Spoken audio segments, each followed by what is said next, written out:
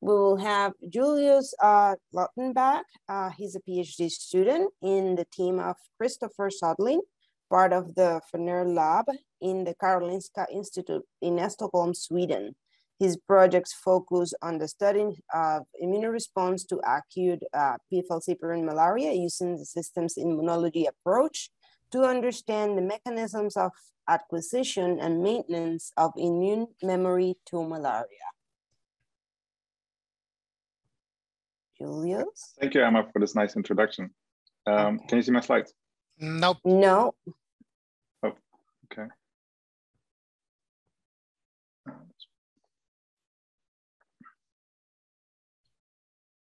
Yep. Now you can Here see. we are. Okay. Yes. Great. Great. All right. Thank you. Um, yeah. Thank you to the organizers for giving me the opportunity to present my research or one of our latest studies, uh, where we used the systems immunology approach to identify a role of cytophilic antibodies in shaping the innate immune response to falciparum malaria.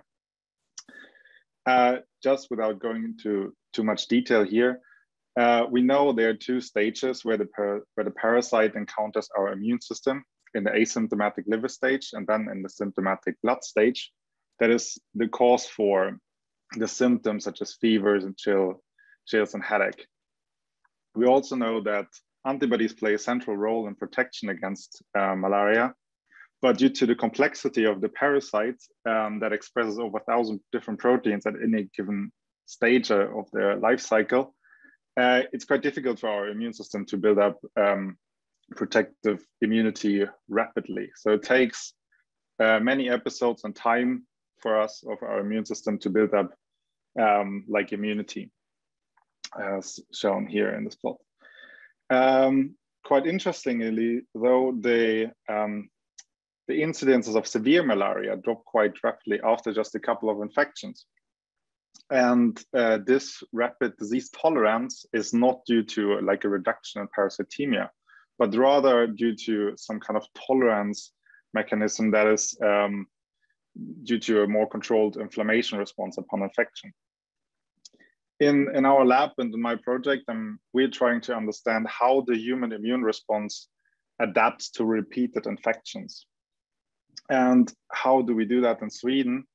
Uh, we, we have a cohort that was started in 2011 by Professor Anna Färnert um, at the Karolinska University Hospital here in Stockholm, Sweden, where we included travelers returning from sub-Saharan Africa with clinical malaria cases and um, followed them up over, over one year after their infection and uh, sampled them with their peripheral blood.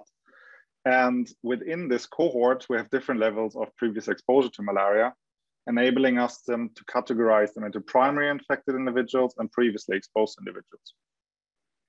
And by looking at the two groups, uh, just like when they presented with, with their malaria case, we see that primary, primary infected individuals have higher parasitemia and also stay a bit longer in the hospital. So we then try to understand, or we, we aim to understand what is the underlying mechanism or how can we explain this based on the immune system or on the immune response. And for that, we use the systems level analysis approach where we, um, instead of looking at one defined cell type, look at all cell types and a lot of um, plasma proteins. And that's that we did with um, uh, the proximity extension assay uh, by Olink, uh, looking at 92 proteins in each sample, uh, and then profiling up to 54 uh, immune cell types using flow cytometry. And all of this data that we got out of this, um, we, we, we handled with a data-driven method called multi-omics factor analysis that enables us to align um, variation that's in the data along a specific um, axis or uh, align um, align the data uh, along axis of um, time after symptom onset to identify what is the variation in data along this this time after onset. And um, so this this method can can be basically seen as a multi-omics dimensionality reduction method, uh, simplified, Um, and you can read this plot uh, similar as a PCA, uh, where you see that in factor, factor one is capturing most of the variance and data that explains like the time after onset from, from beginning up to one year. And when plotting these factor values against the time after onset, uh, the factor one values, um, we see that um, positive factor one values, they associate actually with the acute uh, samples and the, the negative factor one values, they associate with the convalescent or like everything that comes after that.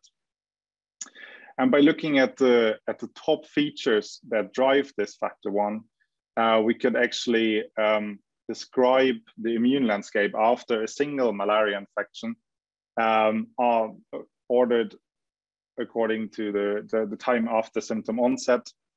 And as you can hopefully appreciate in this in the SEEP map, you see here in the beginning when they all have this acute malaria, we see a lot of um, pro-inflammatory cytokines uh, such as interferon gamma, IL-6, CXCL10, uh, but then also activated CD, CD4, CD8 T cells that are that are known to be um, activated upon this infection. But then uh, when, when the infection is, is treated, um, we see that other cell types come up over time, over this time of one year, uh, such as NK cells or gamma delta T cells. Um, so we then ask, how does the acute response impact this longitudinal dynamics? And by utilizing comprehensive correlation analysis, we could identify that uh, acute, the, these proteins that associate with the acute um, inflammation response are, are highly uh, associated with gamma delta T cells. And uh, especially with the V delta 2 T cell subset. Um, so meaning the more pro-inflammatory cytokines the individuals have in, in the acute response, the more the V delta 2 T cells expand.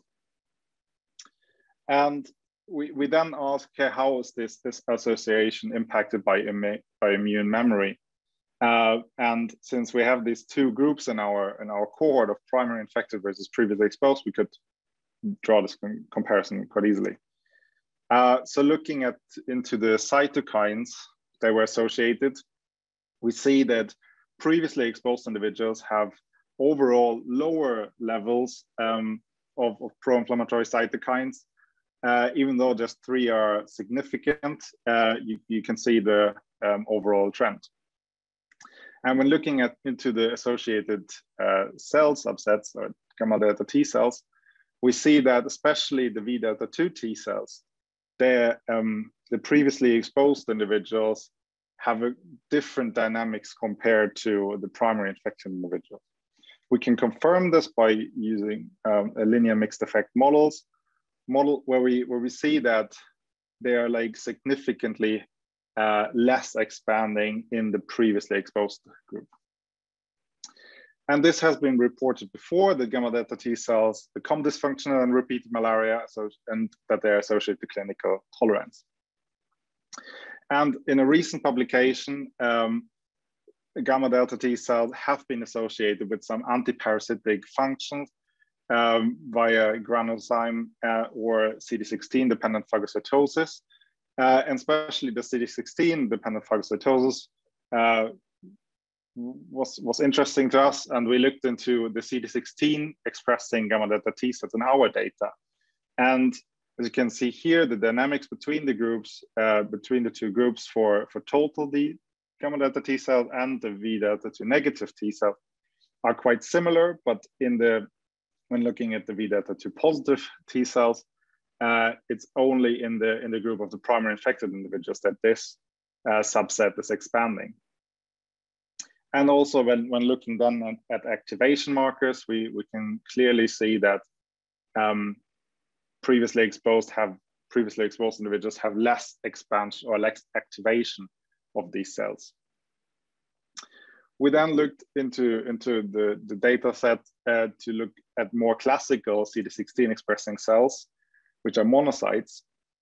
And by comparing the monocytes at the acute time point, we can actually see a completely different picture where the previously exposed individuals have higher numbers um, of these CD16 um, expressing monocytes. And this is quite interesting because these uh, monocytes are usually seen to be more pro-inflammatory, um, but this, yeah, doesn't doesn't really uh, reflect the, the where it's reflected in the protein data that we have.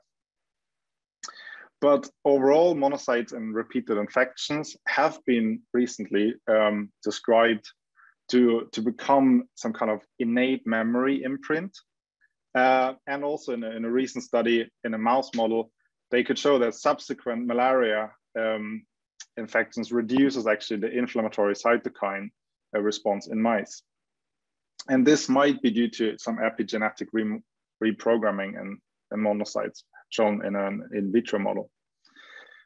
So due to CD16 being a functional receptor, um, we were then repurposing a parasite-specific antibody dataset for individuals of the same cohort that uh, our lab published previously, uh, looking at the blood stage antigens um, and in the specific uh, IgG subclasses, subclass response over time.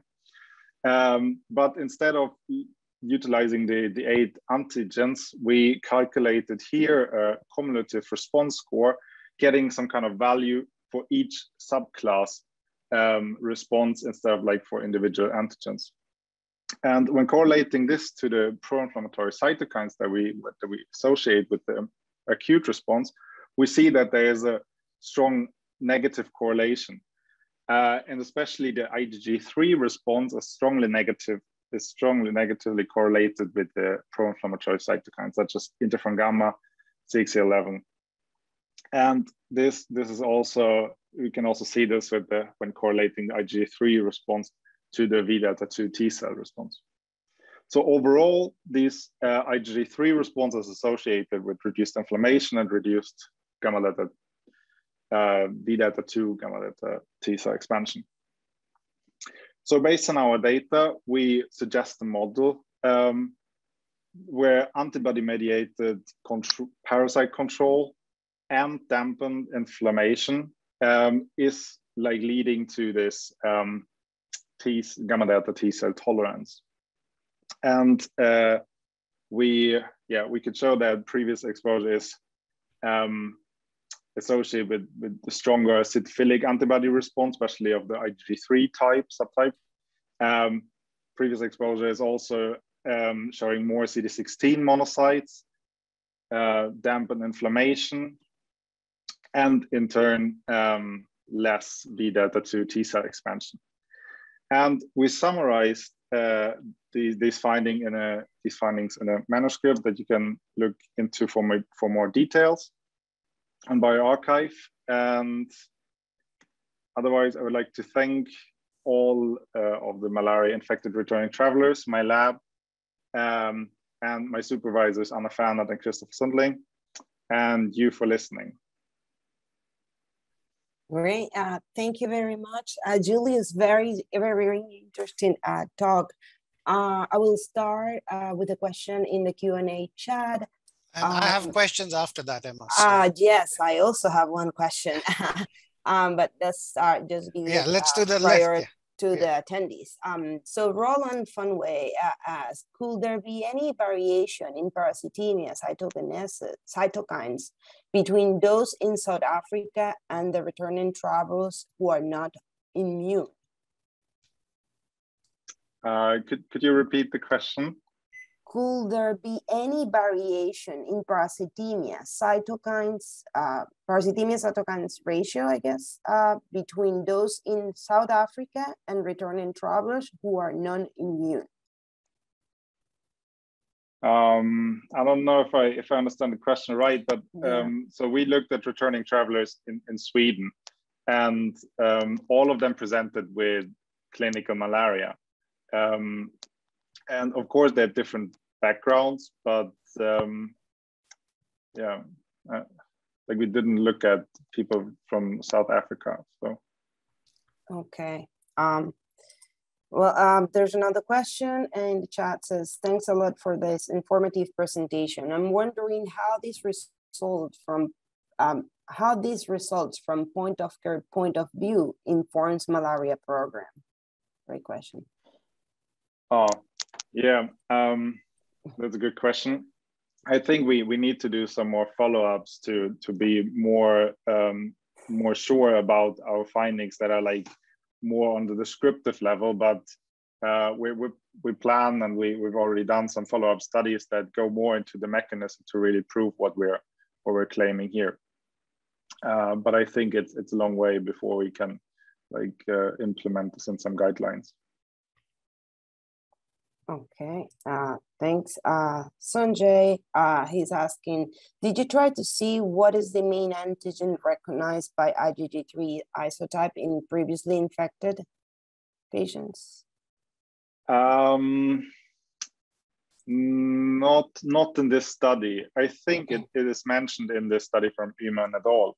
Uh, but not in the study since this was not uh, scope of, of, of, our of this of this project because we were mainly interested in the in the overall um, subclass response. Um, yeah. Great. Um, there's another question here. Um, we know that immunity to malaria is strongly controlled by endemicity of malaria, where moderate to high endemic areas have immunity to malaria compared to lower endemic areas. What's this taken? Was this taken in consideration during this study? Um, not to my knowledge. Um, I think the, the, the individuals that we recruited to our study, they they traveled to different countries in sub-Saharan Africa, but uh, we didn't um, stratify in, in that sense our study. Great, uh, thanks. Uh, so another question, any idea of the duration of these responses among the previously exposed cohort? Um, duration of response in, in what way? I will think as like lasting in uh, uh, presence of those uh, antibodies?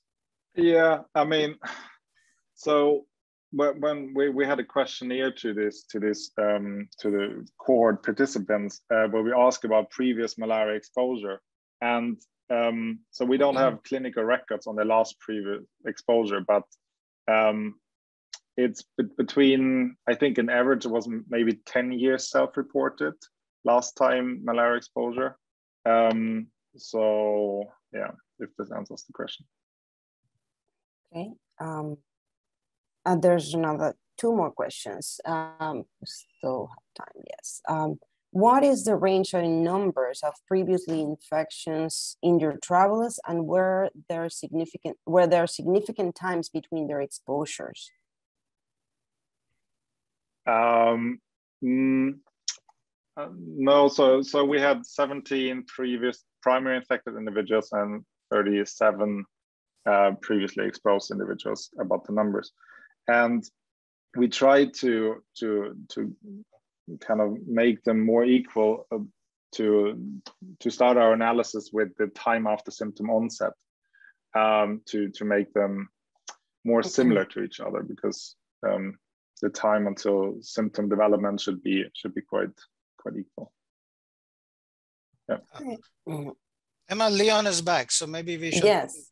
get um, back to him after yeah after Julius. So we'll have a couple more questions and uh, okay. Um, can we know whether the antigen you use in your studies are among the potential va vaccine candidates? Um, uh, so, so the antigens that were that were part of of these um, that we hmm. measured were AMA1, MSP2, MSP1, RH5. So um, yeah, some. I would say. Okay, mm, and but yeah, yeah no, go ahead, Julius. No, no. The, for, for that, uh, for for more details, I would refer to the to the publication of Yman et al. in uh, BMC Medicine 2019. Okay. Um, we have one more question, and then Rahul, you want to make your uh, do your. No, I'll, I'll I'll talk to Julius later. Just finish this, and maybe we should get Leon back in. Okay. So, right. how do you encounter how do you encounter confounding factors such as co-infections with other parasites, especially in quantifying gamma interferon? Yeah, that, that's a good question.